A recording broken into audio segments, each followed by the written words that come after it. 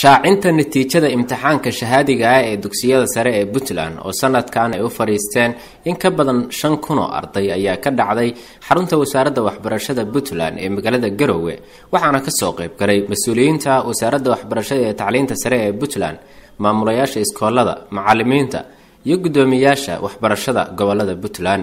Agaasimaha waaxda imtixaanaadka wasaaradda waxbarashada ee tacliinta sare ee puntland axmed saahid ayaa akhriyey natiijada imtixaanka shahaadiga ah ee dugsiyada sare puntland. Imtixaanku sanadkan waxaa galay shan kun oo arday arday ku dhowdhow baa galay. Tartan adag buu ahaa wuu nooga duwanaa sanadihii hore dhinacyo fara badan marka la eego. Imtixaanka guud ahaan ardada gashay markay tartameen waxaa ka soo baxay maadadii imtixaankii ardada natiijadoodii. Eeda ardada keentay waxay noqdeen laba boqol iyo shan arday bay noqdeen e minuskana ardada keentay waxay noqdeen laba boqol iyo siddeetan iyo lix arday. B-da waxaa keenay b blaska waxaa keenay laba boqol iyo toddobaatan. B blain ama b-da caadiga ah waxaa keenay laba boqol labaatan iyo labo. B minusna ardada keentay waxay ahaayeen lix boqol siddeetan iyo saddex.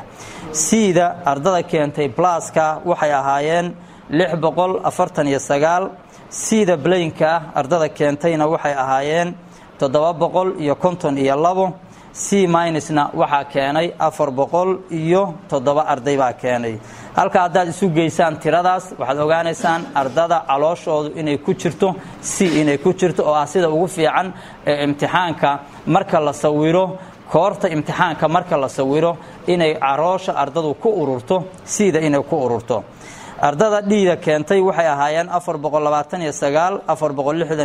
iyo iyo hal oo ah d minusa guud ahaan ardada waxaa ka dhacay siddeetan iyo laba arday waxaana ka maqnaa soddon iyo kow arday ayaa ka maqnaa afar kun siddeed boqol sagaashan iyo saddex arday baa sidaas imtixaanka ugu fadhiisatay.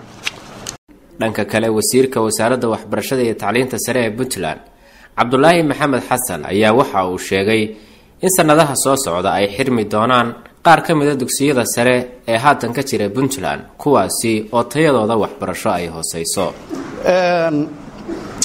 Waxyaabaha dhacdhacay inagaga imanayay sidii uu sheegay cali dhahar oo ah guddoomiyaha arrimaha bulshada ee dowladda puntland xagga baarlamaanka runtii wax jira weeye. Ilaa iyo hadda arintaas shahaadada federaalka ilaa iyo hadda xal looma helin xalu helideedaasna waa arrin la siyaasadeeyey oo bulshada puntland iyo dhammaan dowladda puntlandba ay og tahay. Arrintaas waxaa looga fadhiyaa dowladda federaalka ah inay wax ka qabato ardaydaas shanta kun ah ee soomaaliyeed ee ku nool puntland shahaadadoodii inay u xanibnaato arrin siyaasadeed. Runtii waa wax aad looga wax aada looga naxo weeyaan. Ma rabno in waxaan rabnaa inay isu soo dhowaato dadka soomaaliyeed inuu siyaasiyan iyo waxqabad ahaanba inuu isu soo dhowaado. Annagu diyaar baanu u nahay inaan kala shaqayno wasaaradda hidaha iyo tacliinta sare ee dowladda federaalka inaan kala shaqayno wixii ay nooga baahan tahay. Laakiin mushkiladda jirtaa waxa weeyaan wada shaqayn dhankaas nooga imanaysaa haba yaraatee ma jirto. Sidaa daraaddeed madaxda dowladda federaalka ah iyo madaxda dowladdeenna puntland ba waxaan ka codsanaynaa arrintaas sida ugu dhaqsaha badan in loo xaliyo waxaan ku bushaaraynaynaa ardayda puntland shahaadada puntland iyadu waa diyaar. Iyadu waa diyaar waxaan rajaynaynaa insha allah teenaas maaragtay intii aynu baahideenna ku kafargarayn karno inaynu ku kafargarayno. Taasina insha allah inay xalisanto baan rajaynaynaa. Waxaa dhacday halka kan performanska iskuullada markii aanu saaka fiirinaynay sida iskuulladu ay hawsha tan iyadaha u qabteen. Waxaa laga yaabaa iskuullo ka mida iskuullada hadda jiro qaybkood imtixaanadan ay ka galeen waxaa dhici karta iskuullada qaarkood inay xidhmaan because of performance. Qaarkood inay xidhmaan baa dhici karta.